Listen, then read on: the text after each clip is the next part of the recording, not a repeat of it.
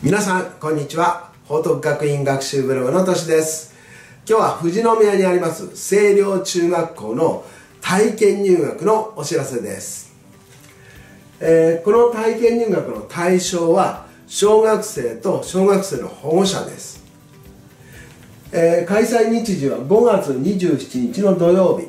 午前と午後の部に分かれていて午前の部が9時30分から11時30分。午後の分が14時から16時。このようになっています。内容は、え体験授業。これ科目は国語と社会だそうです。それから部活見学と部活の紹介。え保護者向けの教育説明会もあります。さらにあの個別相談。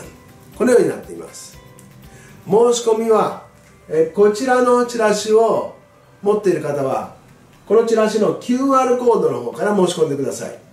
このチラシがない方はこの清涼中学校の入試広報課の方に問い合わせをしてみてください、えー、清涼中学校駐車場があるので、えー、車で行くことができます、えー、そして上履きは持参してください。